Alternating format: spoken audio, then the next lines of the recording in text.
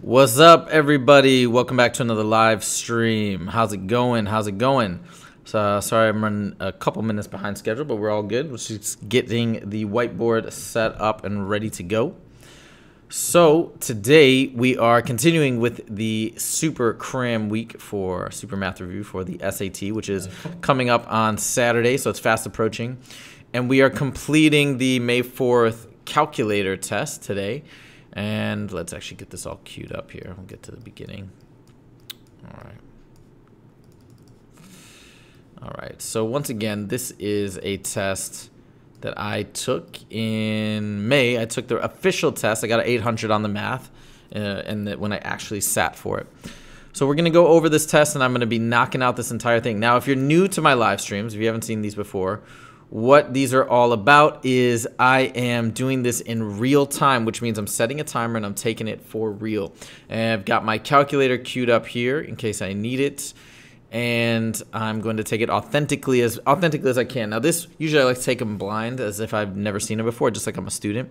I've actually taken this one, as I told you, I got it perfect on the math. So I have seen all these questions before, but within the time frame, I'm going to go through and I'm going to explain everything simultaneously. So let's set the timer. Hold on.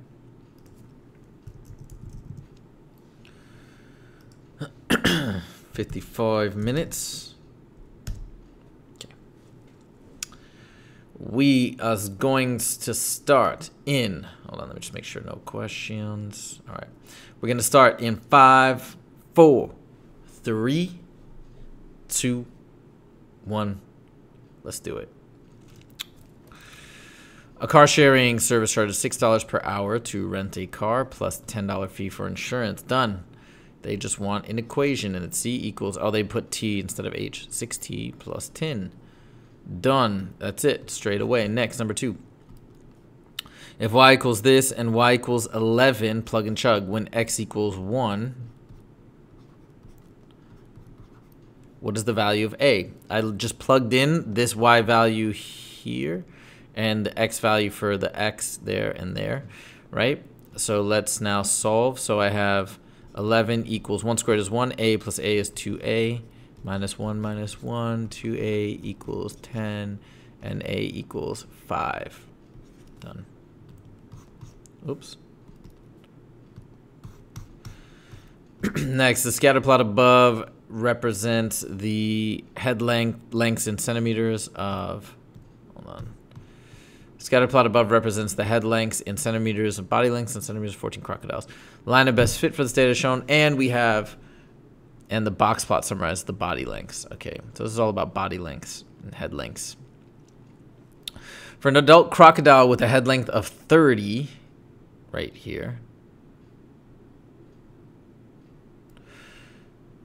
uh, which of the following is closest to the body length in centimeters predicted by the line of best fit?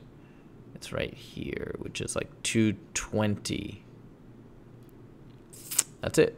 I don't even know, or 215 will be the best answer. I don't know why they provided this. Let me just make sure I didn't mess it up. I don't remember this one. I had a plot represent the line of best fit. For an adult crocodile with a head of 30, what is, which of the following is the close to the body length predicted by the line of best fit? Yeah. Oh, there's probably two questions to this, maybe. Hold on. Yeah. Based on the line of best fit, the font, which is the best estimate of the increase in predicted body length? Increase in predicted body length in centimeters for every 10 centimeter increase in head length. Okay. So as this goes up by 10, so basically we're going from here, here, let's do it in blue. We're going from here to here, right? And it looks like we're going up by like maybe 80. 75 looks good. Okay, because you see how we climbed like from here to here, and it's a le it's less than hundred, but it's close to hundred maybe. So I say seventy-five is our best bet. And then number five, based on the box plot, which the following is the best estimate, the median. Now all you got to do is know that for a box plot, they keep asking these questions lately. The median is that middle line. The median looks like 320. And there it is. Okay, good. If 5x minus 7 equals 13. Okay, shortcut for this is if I, I can see right away, if I double this, I get 10x minus 14. So just double both sides. And 2 times 13 is, oops, is 26. Let's not circle that. Circle that. 7. We got an x and y table here. In the, in the table above, the ratio of y to x for each pair is constant. What is the value of k? So what they're saying is this is a proportionate equation. That's what they're telling you without saying it. And they're trying to find this k value. And if this is proportionate, all I got to do is plug in any of these y's. Let's plug in that one. And plug in any of the corresponding x's. Let's plug in the 1. 4 equals 1 times k. Uh, that's it. So k equals 4. So it's y equals 4k. 4x is the equation. But they just want the the k value. Oh, wait, what? What? Did I do that backwards? How did I get 4? Oh, k is down there. Never mind. Sorry, they tricked me because I used two different things. So then it's one. It's uh, 160 because all you're doing is you're you're constantly multiplying the x value by 4. This is how you do a proportionate equation. They happen to also use k in the table. So to go from x to y, we're multiplying by 4, multiplying by 4, multiplying by 4, multiplying by 4. 4 times 40 is 160. Next, which of the following is equivalent to this? Distribute, that's all we're doing. 2a squared times a is 2a cubed, right? We add the exponents. a squared times a to the first is a cubed. Plus 6, multiply the coefficients, a squared.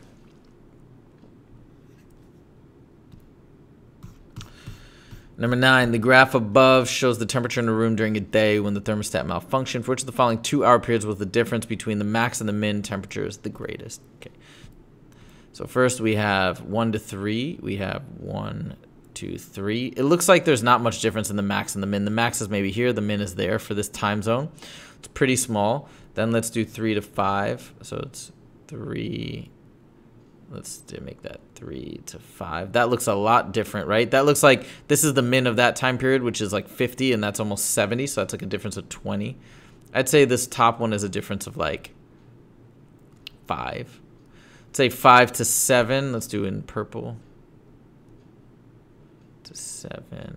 We're looking at a difference of maybe 15. And seven to nine. Let's do in red. Looks like a difference of there's the max and there's the min, like a difference of seven. So I'm going with B, of course. Definitely the biggest difference. What is that? Nine, ten. In the population of snow leopards in a certain area can be modeled by the function P defined above. Of the following, which is the best interpretation of the equation P of 30 equals 550? This means in 30 years, so in 2020, 30 years after 1990, the population of snow leopards will be 550.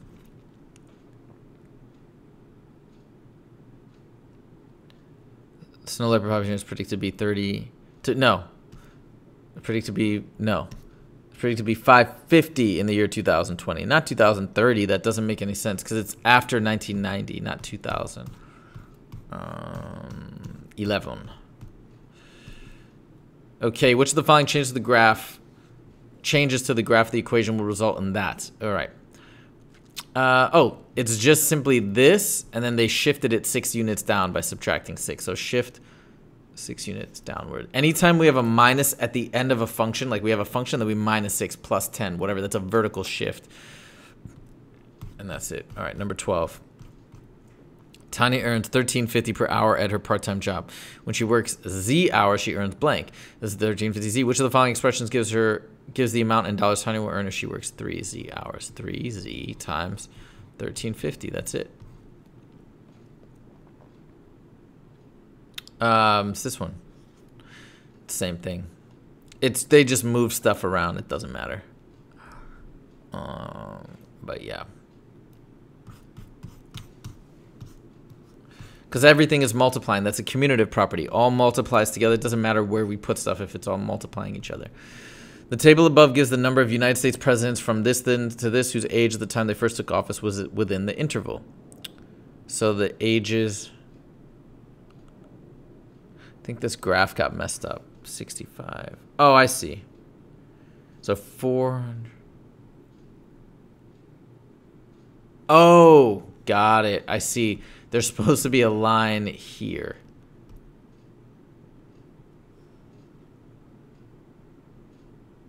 like that. Okay, so 40 through 44, there was two. 45 through 49, there was seven. Okay, whatever. Of those presidents who were listed at least 50 years old when they took office, of the presidents who were listed, who were at least 50, so it's from this bracket down, what fraction were at least 60? So we've got of the of this, so there's a total the total population of at least 50 is 13, 11, 24, 31, 34. And out of that, how many were at least 60 in this pocket, which is 10. So it's 10 out of 34. Where's the multiple choice? Oh, shoot. It must not have included. So anyways, I'll double check that one, whatever it is. It should reduce to 5 over 17, okay? Yeah, all right. Next is this guy, system of equations. What's the following graphs in the xy plane could be used to solve the system of equations? So, oh, the aka we got to figure out what these graphs look like. So the top one, let's isolate y to do that. f5y equals negative x plus 5. Divide by 5, y equals negative 1 fifth x plus 1, right? So we know that, that that's that one, and this one is negative y equals negative 2x minus 4.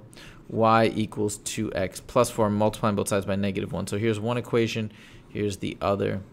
This has a negative slope, that is a positive slope, so let's see.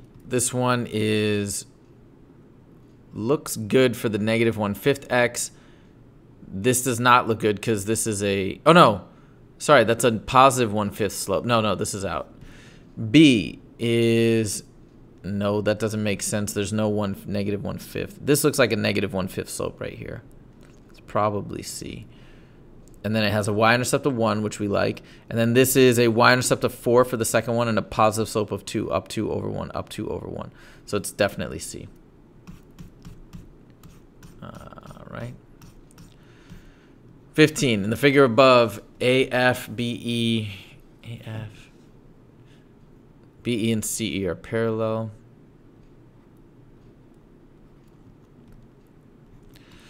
Uh, points B and E lie on AC and FD, yeah. If AB equals 9 and BC equals 18.5, and FE equals 8.5. What is the length of ED? All right, there's a really nice thing we can do with this. It's called the side splitter theorem. You don't need to know that though. Just think logically. This These are cut proportionately when they're all parallel and they have this thing. So you can set up a proportion like this. 9 over 18.5 equals this over this equals 8.5 over x. Then cross multiply. 9x equals 8.5 times 18.5.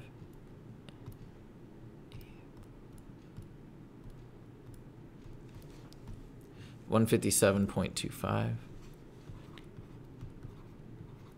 And then divide both sides by 9. This isn't actually exactly the, side splitter theorem, but it this will work. Divided by 9. So what the... Oh, it rounds up to 17.5. And really what it is, it's actually EF is over FD is proportionate to AB over AC, but it'll still work and we can we can prove it uh, if this is 17.5 approximately, it's like 18.5 over 25, 26 equals 9 over 27.5. 9 plus that. Um, 8.5 over 26 is that. And then 9 over 27.5 So they're pretty close to each other, roughly. Um, so I think that's good. All right, next. 15, 16. School particip uh, club participation in, wait, hold on. Let me just make sure, did I do that? I want to make sure if I didn't do that incorrectly because if I, over 20, wait, 9 over 20, this would be the, the actual right way to set it up, but I, I know you can usually take that shortcut 8.5 over plus x. 8.5 times 27.5. 8.5 times 27.5 equals 233 points. That's cross multiplication. 3.75 equals, and then 9 times 8.5.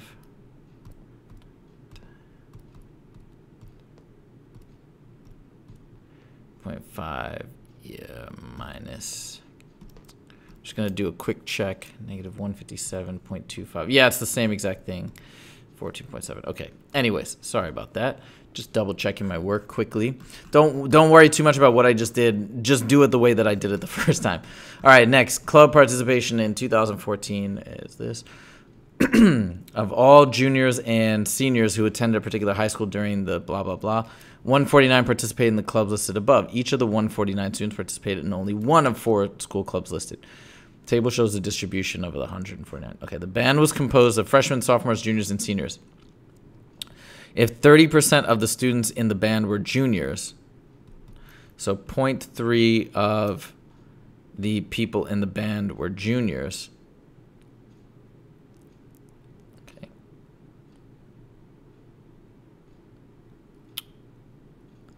Oh, but the band has more. So point. So the total in the band is X. So 0.3 of the whole thing, or 30% of the whole thing, were juniors, and juniors constitutes 18. How many students were in the band? We got our equation. Now we isolate. Divide by 0.3, and I know that's 60. Okay. Next, uh, same deal. Of the number of juniors and seniors in the drama club, 25% who walked to school, rep, the 25% who walked to school represented represent one eighth of the total number of juniors and seniors who walked to school. Okay.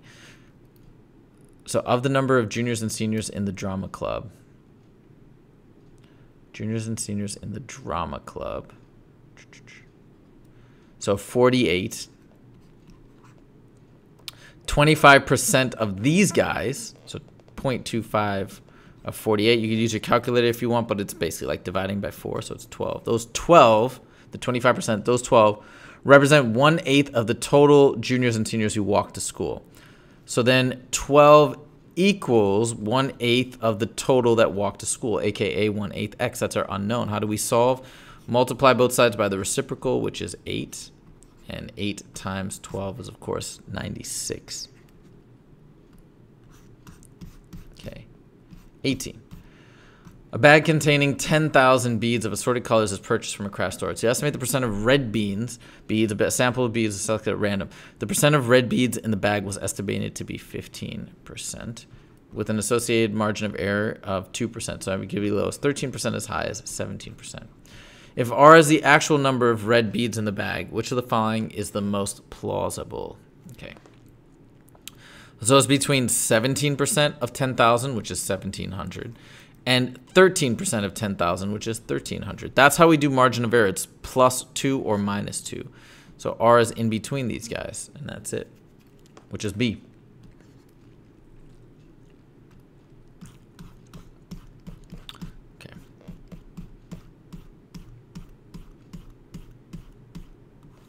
19. For the linear function table above, give some value of x and the corresponding values of f of x. Let's do a little line here. Okay. Which of the following equations defines f? It's linear, right? So we know that my, let's first calculate this. The y-intercept is c, so it's got to be just c out here, right? Because when x is 0, y is c. So no 3c, no 3c. So it's either these two. And then what's the slope? Let's take two values. So I'll take 2c minus c, right? Subtract the y's over the difference of the x's over 1 minus 0. We're subtracting up.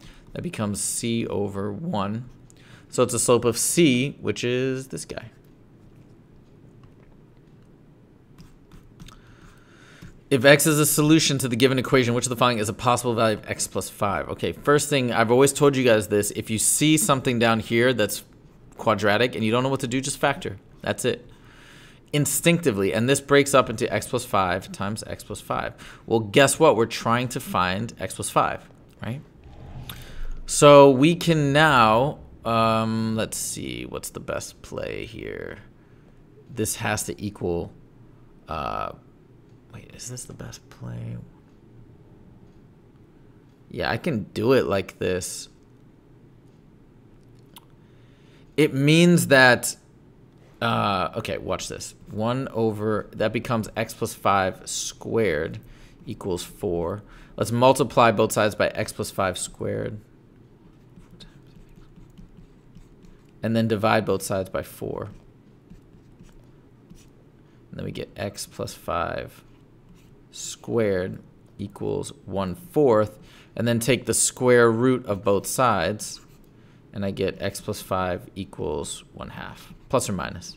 But it's, would I, and I see 1 half right here. Okay, and that's it. Uh, if I plug this back in, it, it works, right? Because this becomes 1 half times 1 half, which is 1 fourth. 1 over 1 fourth is 4. So that's it. The graph of a line in the xy plane is a is at a point the graph of a line in the xy plane here. Let's zoom in a little bit. Has a positive slope and the intersects the y-axis at a point that has a negative y coordinate which of the following could be an equation of the line? So m equals positive b equals negative.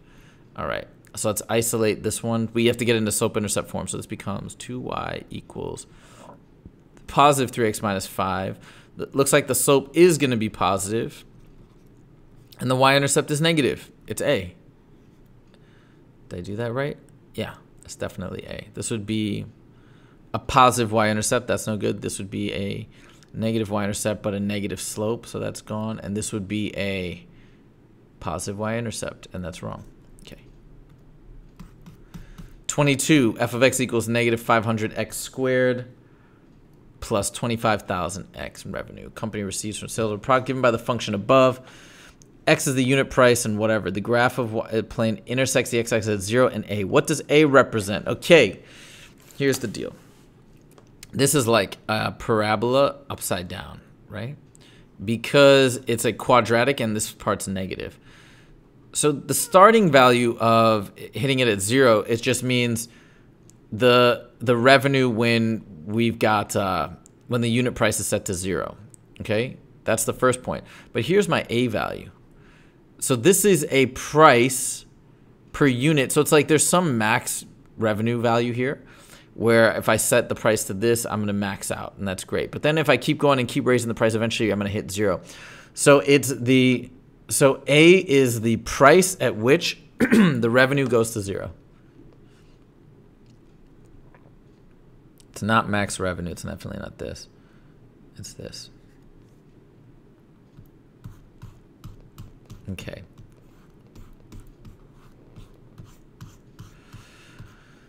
The graph of the equation, the blah, blah, blah, is a line where A and K are constants. If the line, if the line contains the points this and this, where's the value of K? Okay. First of all, I'm going to get this, get this, as crazy as it sounds, I'm going to get this in a slope-intercept form, okay? Uh, or maybe I don't need to. Oh, yeah, I don't think you need to. I think I did on the test, but I don't think you actually need to. I'm going to... Oh, let's, let's just plug in 0, negative 3. So a times 0 plus k times negative 3 equals 6. This goes away, and we just need to solve for k, and that's it. Divide both sides by negative 3. k equals negative 2. That's it. Plug and chug, done. 24 for two, from 2005 to 2014. The number of music CDs sold in the United States declined each year by approximately 15% of the number sold the preceding year. Okay. Uh, in, the in the year 2005, 600 were sold. Following which best models that see the number of CDs sold in T years after 2005. So look, this is a nice exponential equation. And we're always starting with, this is the starting point, this number right here. So we know it's got to be 600. It's 600 in all of these, so that doesn't help. But then we do, in here, it's 1 plus whatever the rate is, which it's growing or decreasing to the t power. Now in this case, it's decreasing by 15, so that's negative 0.15. So 1 minus 0.15 should be 0.85 to the t. 0.85 to the t, and there it is. It's got to be less than 1 if it's decreasing. This is not it, though. This is decreasing by 85%, not 15. Next is This guy. Function g above models the growth rate of a certain plant in millimeters per day. In terms of the watering time in minutes per day, what is the meaning of this? Got it. Okay. this means we're plugging t. Uh, we're plugging 5.51 in for t. So this means the watering time of 5.51 minutes results in whatever this growth rate value is, which we don't actually need to solve. So watering time of 5.1, yeah, that's it. It's this one. Plant growth rate. If this is wrong, because that's in for T, not G. Watering time increase. That's wrong. It's not even a constant slope, so that's that's what this is describing. No. No, this is just a singular value singular coordinate. Psychologists designed and conducted a study to determine whether playing a certain educational game increases middle school students' accuracy in adding fractions. For the study, he chose a random sample of 35 students from all the students at one middle school in a large city. Psychologists found the students who played the game showed significant improvement in accuracy when adding fractions. What is the largest group to which the results can be generalized? So, since they say it's a random sample from this middle school, not from middle schools in the area, a random sample from this middle school. It can only apply to this middle school, okay? From all of the students at one middle school. So all the students, no, definitely not this. All students at the school. Of course it applies to them, but it's probably never going to be your answer because that's like, I mean, it is them. I mean, that's, but that's obvious. Okay, 27. A manufacturer determined that, that a right right cylindrical containers. Uh, kind of messed that up, but that's okay. Boom. Pretend it's a right cylindrical container. That containers with a height that is 4 inches longer than the radius. So this is r plus 4. this is r. are the optimal number of containers to be used on the shelf. Which of the following expresses the volume V in cubic inches of such containers? All right, this is literally just look up the formula for volume of a cylinder and plug it in. So it's pi r squared times h. But in this case, h is just r plus 4. And then distribute, boom, boom. That's pi r cubed plus 4 pi r squared.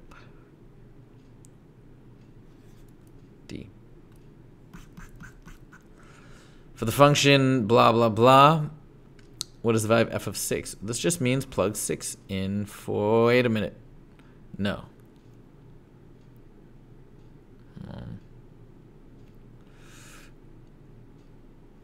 Wait, what?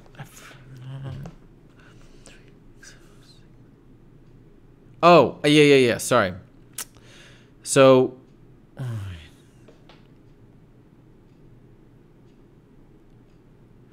Got it.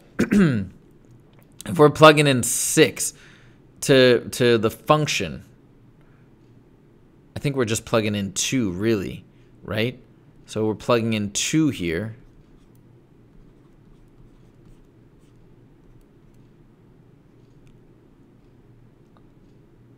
And then two minus six. I feel like it's negative four. I can't Wait a minute. Let me think about this question for a second. Uh, I know I got it. It's a if f of 3x oh which means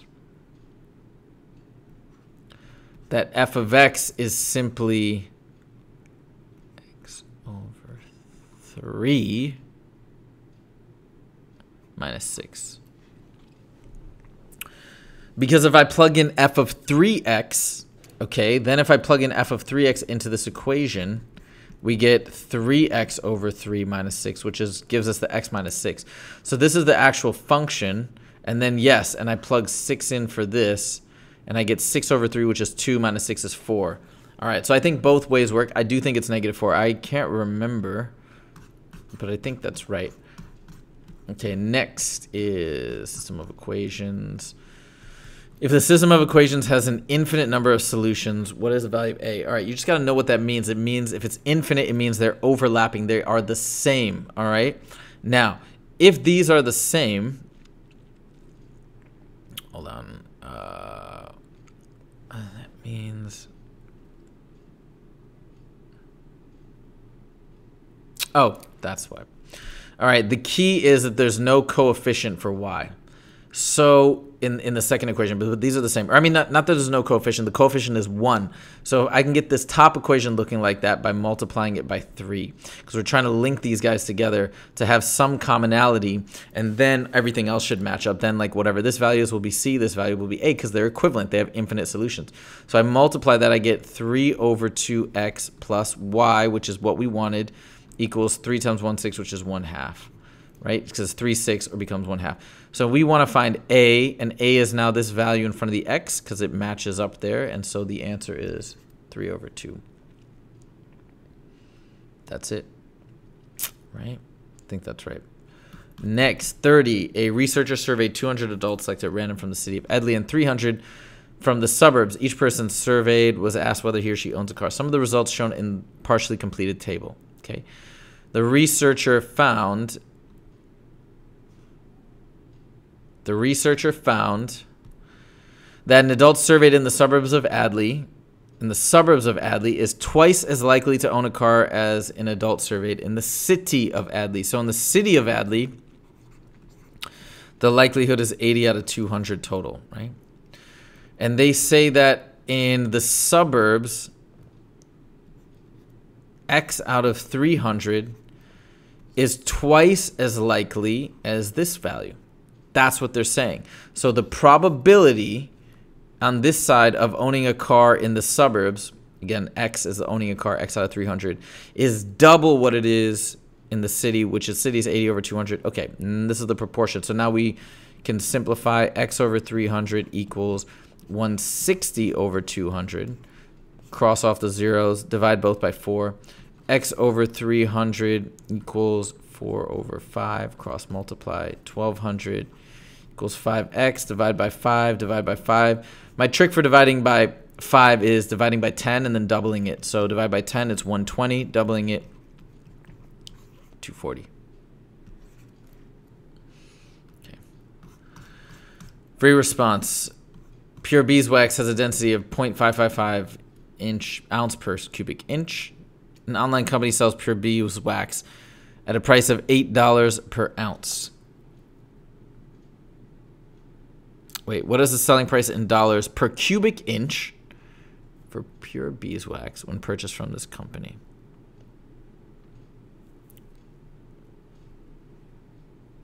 Wait, eight dollars per ounce.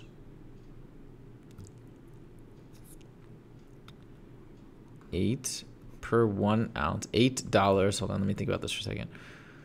Per one ounce and then it's 0.555 ounces per one cubic inch. There, there it is. So really all I'm doing is multiplying 8 times 0.555. 8 times $4.44. Now I'm just going to think about this and see if this makes sense. So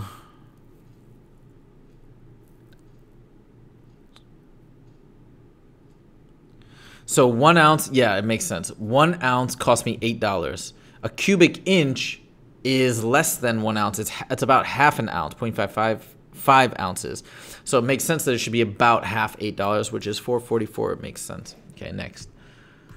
The mean of the listed numbers is what fraction of the sum of the five numbers? I mean, this is obviously well anyways let's just do it. I would this is how i would i, I know that it's one fifth because that's what you're doing right? You're taking the sum and dividing it by five. So the, the mean has to be one fifth but if you're not sure let's just do it anyways. 2 plus 10 plus 3 is 15 plus 7 is 22 plus 6 is 28 so the mean is 28 over 5 the sum is 28 so what is the fraction of the sum of the five? The mean is what fraction? So it's 28 over 5 over 28. And we can put that over 1 if you want. This multiplies up. This multiplies up. So now I have 28 over 5 times 28. These guys cancel out. And look, I get 1 fifth.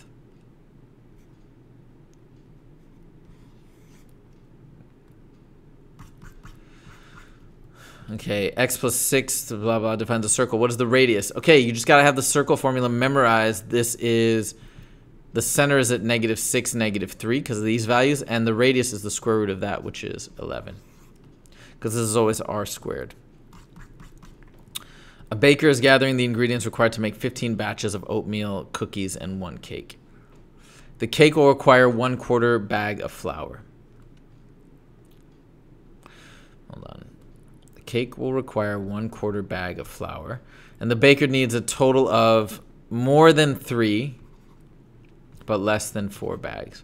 What is one possible value for the fraction of one bag of flour required for each batch of cookies? Okay, so it's like we're already taking a quarter of a bag for the for the cake, and then we've got 15 times some value of the flour and here's what I'm going to do. I'm going to set up for the outer examples. Like, first I want to know what's going to get me 3.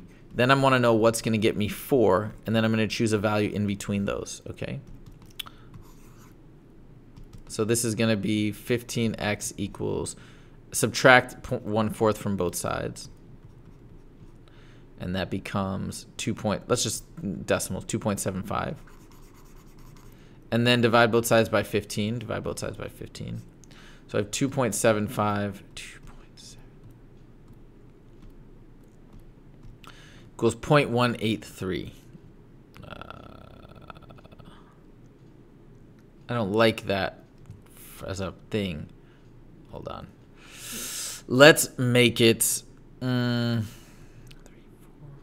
let's keep it a fraction. 4 times that is 8, 11. It's 11 sixtieths. Okay? You could probably put it in as a decimal. It doesn't matter. I'm just going to do it like this. So 11 sixtieths, because it's asking for a fraction. Then this one is 15x. Oh, I did the subtract. That was, oh yeah, no, that was right. 15x, let's subtract a quarter from both sides, subtract a quarter from both, from both sides. And we get 3.75 divided by 15 divided by 15.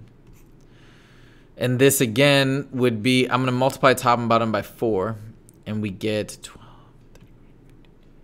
15 over 60, uh, which reduces to 1 fourth. Hold on. Is that right? 2.75. Hold on. 11 60ths. Yeah, yeah, it's 11 60ths. So it's between, actually, I'm going to leave it like this. So it's between 11 60ths and 15 60ths. So I'm going to choose 12 60ths. In between these two, it's going to give me more than 3 but less than 4. And 12 60ths reduces to 1 fifth. So I'm just going to put in 1 fifth as my answer. Yeah, I think that makes sense. All right, 35. The histogram summarizes the distribution of data composed of 50 integers. So these are 0 through 5, 5 through 10, whatever, whatever. The first bar represents the number of integers that are at least 0. Okay.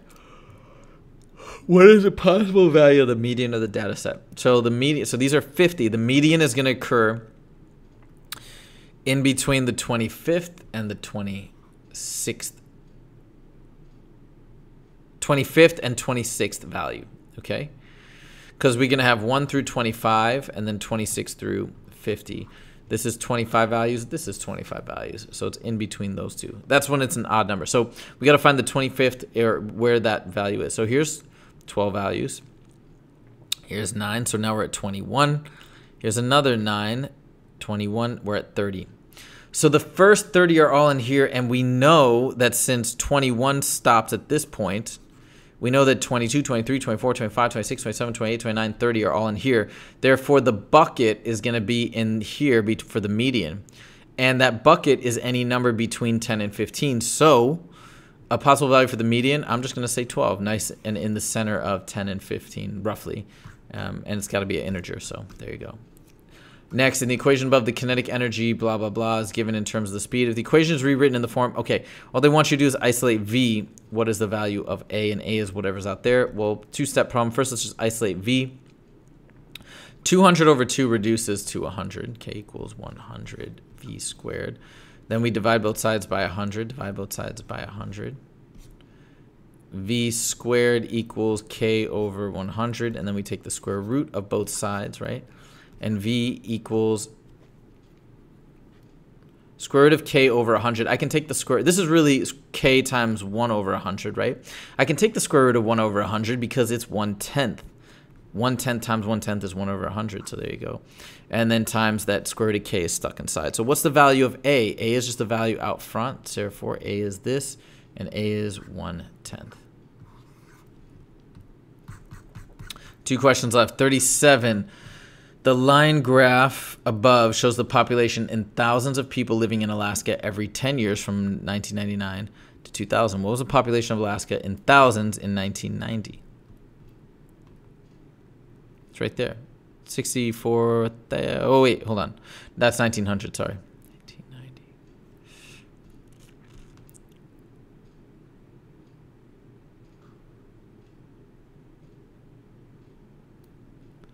It's 550, and they want it in thousands, so they don't want you to say 550,000. You can't anyways on the grid, and so you just say 550.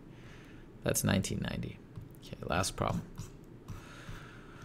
The ratio of the population of Alaska in 1980 to the population of Alaska in 1970 can be written as A to 1. A to 1 equals population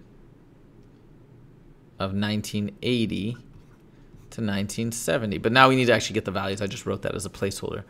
And what is the value of A they're asking? So we say A to 1 equals 80 is 402. 1970 is 300. A over 1 is just A, by the way. so this is your answer. But we want to, that's too big to enter as a fraction. Uh, let's see what is a decimal. 402. 1.34. That's the value of A. Done. All right. Let's just uncircle this. That's not our answer. That's not where. Oh, oh, oh, oh. Please tell me I did something glitch now. No. Don't glitch, my friend. Okay, good. Oh, it went away. It worked. All right. I'm going to stop the timer. Uh, again, if you have this much extra time on the test when you take it, you need to spend that time to review your answers. Don't just finish and toss it in. Check your work, and you should actually flag problems as you're going through it that are a little bit trickier that you want to take a second look at and start there first. That's the best way to do it. I usually put a little star asterisk against those questions. Now, let's check the answers.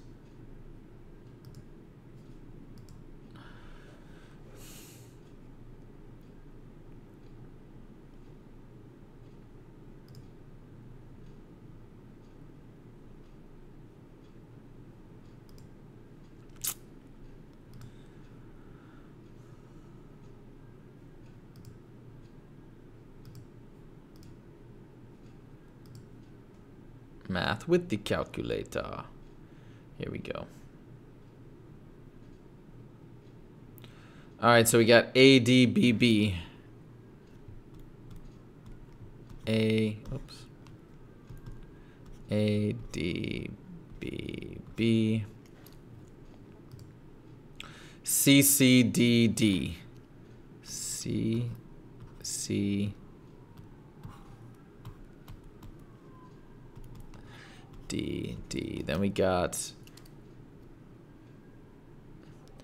B, C, D, A. B, C.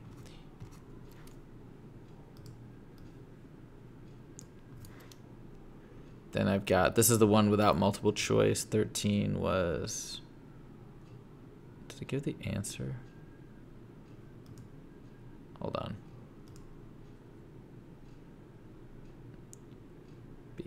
Five sevenths. Okay, so they didn't reduce it. They left it as 10 34ths, but same thing. Okay.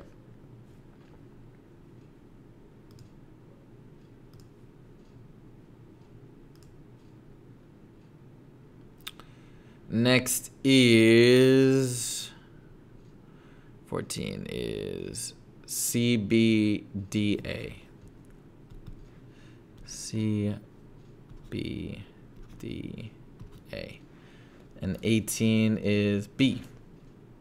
Okay.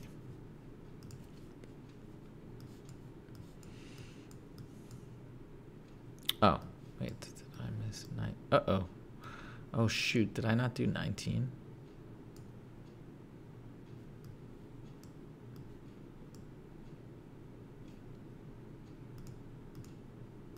Shoot, I didn't do it. Okay, let's solve 19, I guess, right now. So I'll keep the timer going.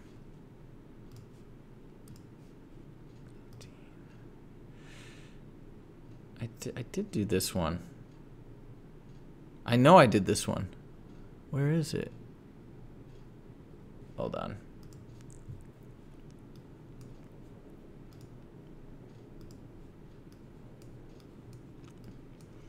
Mm, there it is. Okay, 19 is C. Alright, so I'll stop the timer. Okay, C A A C. C A A C. 23 is A B A B.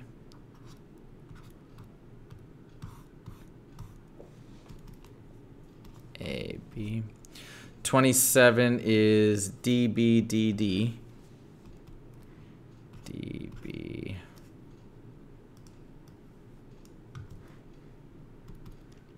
D, B, D, D. Okay, and then we got the free response good, so all those are correct. Then we got 4.444, uh, which I wrote there. I didn't circle it, but and then 32 is 1 fifth, which I said. 33 is I'm sure is 11. 34, they said x could be between 11 sixteenths and 1 fourth, right? So that's what I put as the range, so that's why I chose 1 fifth, and, which is 0.2, um, totally fine in between that zone. So they're pretty flexible on that one, that's nice. And then 35 is 10, 11, 12, 13, 14, put 12, uh, 1 tenth, 550, and 1.34. Cool. Those are the problems. Let's see if there are any questions. Do you have any tips for people who are not good at math at all? What does that mean? Oh, the screen was blurry? Was the screen blurry throughout? Or it just got blurry because I just zoomed out? I mean, when I was really zoomed in before. But anyways, Grace. So Grace, like,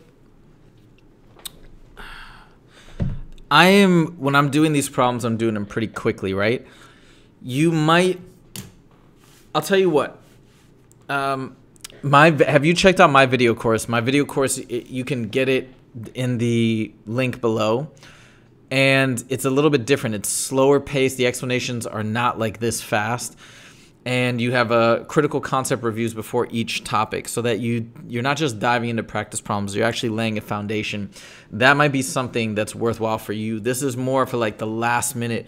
You kind of been prepping or you prepped somewhat and now we're going through a crash course of just hitting practice problems hard with explanations detailed explanations. So i would suggest i would suggest that is is take a look at the practice course and uh, my video course see if it's something that you're interested in. All right guys this is it for today's live stream.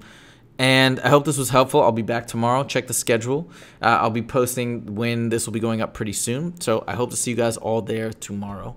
And we will take it from there. I wish you all the best of luck. And I'll see you all next time. Take it easy.